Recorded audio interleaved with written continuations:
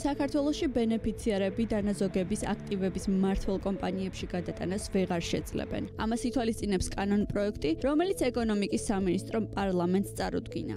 საქმე ისაა, რომ 2025 წლიდან მოქალაქეებს შესაძლებლობა უნდა მისცემოდათ საკუთარი საპენსიო აქტივები გადაეტანათ აქტივების კერძო მმართველ კომპანიებში. თუმცა, ეკონომიკის სამინისტროს მიერ მომზადებული ცვლილებების პაკეტის მიხედვით, მოქალაქეები ამ უფლებას დაკარგავენ. BMG ეკონომიკის სამინისტროს მიმართა კითხვით: თუ რატომ გადაწყვიტეს მოქალაქეებისთვის ეს უფლება ჩამოერთვათ? კითხვაზე სამინისტროში განმარტავენ, რომ საერთაშორისო პრაქტიკის თანახმად, აქტივების გადატანის უფლებით ბენეფიციარ ერთ საკმაოდ მცირე ნაწილი სარგებლობს. ამასთან ეკონომიკის სამინისტრო აღნიშნავს, რომ ამ ცვლილების გატარებისკენ საპენსიო სააგენტოს საერთაშორისო საფინანსო ინსტიტუტები მოუწოდებდნენ.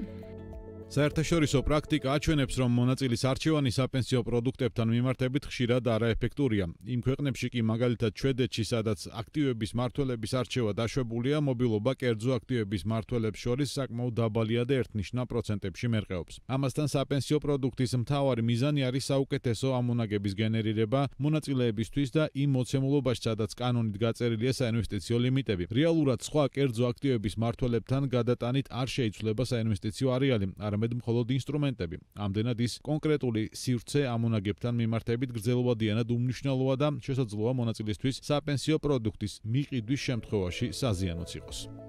საპენსიო აქტივების მმართველი კომპანიის არჩევის შესაძლებლობის გაუქმება მხოლოდ ერთი ნაწილია იმ ცვლილებათა პაკეტში, რომელიც 16 კანონ პროექტს აერთიანებს და საპენსიო სააგენტოს მართვის სტრუქტურაში, ასევე საინვესტიციო ლიმიტებში მნიშვნელოვანი ცვლილებები შეაქვს. ამავე კანონ პროექტით სახელი ეცვლება თავად საპენსიო სააგენტოსაც და მას საპენსიო ფონდი ეწოდება. მაღალი კონცენტრაცია არის დაგროვებული თანხების საბანკო დეპოზიტებზე, რაც რა თქმა უნდა არ წარმოადგენს საუკეთესო პრაქტიკას.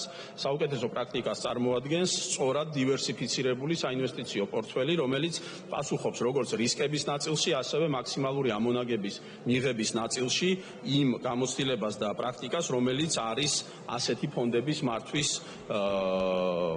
მართვაში მიღებული.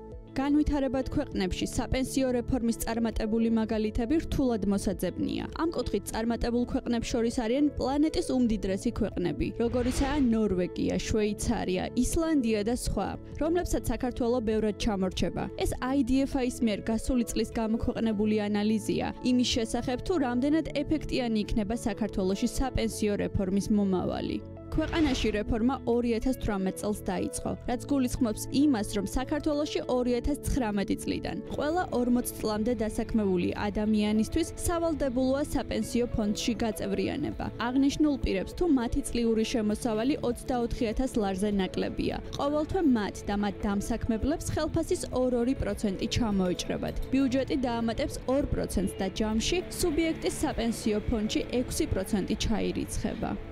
რასაც ვეხებით წარმოქმნილ პროექტში პირველ მოსმენაში ეს არის რომ ეგრეთ წოდებული 29 მუხლი რომელიც პერსონალურ არჩევანს ითვალისწინებდა ითიშება. ამისი მიზეზი განმაპირობებელი იყო რამოდენიმე რაც შევხედეთ საერთაშორისო პრაქტიკას ზოგადად და არგუმენტებს რომ რატომ უნდა არსებობდეს ხშირ შემთხვევაში ეს არის კაპიტალის ბაზრის განვითარება, კონკურენცია და სხვა. მოგესენებათ საპენსიოსთვის კაპიტალის ბაზის განვითარება მიზანი არ არის, მიზანი არის ამონაგების გენერირება, ხოლო კონკურენციაზე თუ ვისაუბრებთ, კონკურენცია უნდა წარმოვიდგინოთ საპენსიო პროდუქტში, რომელიც არის ჩვენი ყველას ამონაგები და უკეთესი ამონაგები შესაბამისად, როცა გავეცანით სხვადასხვა ქვეყნების სტატისტიკებს, საკმაოდ უნიშნელო არის. არსებული მდგომარეობით საქართველოს საპენსიო სააგენტოში მილიარდ 511000 მოქალაქის 5 მილიარდ ლარამდე დანაზოგი არის განთავსებული. მოსახლეობის საპენსიო დანაზოგების 99% დაბალ რისკიან საინვესტიციო პორტფელში არის განთავსებული. აღნიშნული პორტფელის 80% ქართულ საინვესტიციო აქტივებში არის ინვესტირებული. 20% კი უცხოურ ვალუტაშია ნომინირებული და მისი მეშვეობით საერთაშორისო საფონდო ბირჟაზე არის ინვესტიციები განხორციელებული. საპენსიო სააგენტოს წარმომადგენლები ხშირად საუბრობენ იმის შესახებ, რომ რეფორმის რეალურ შედეგებს მაშინ გავიგებთ, როდესაც ფონდიდან პენსიების აქტიური გაცემა დაიწყება. ფაქტი ერთია: ხელისუფლებამ 5 წლის თავზეც ვერ მოახერხა დაერწმუნებინა საზოგადოება საპენსიო რეფორმის სარგებელში და ვერც შიში გაუქრეს, რომ საკუთარი შრომით გამომუშავებულ თანხას 20-25 წლის შემდეგ არ დაკარგავენ.